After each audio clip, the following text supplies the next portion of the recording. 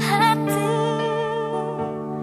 Kadang awan menghitam Kadang langit tak berbintang. Kadang sesuatu yang tak ingin terjadi Tapi terjadi. Kadang kita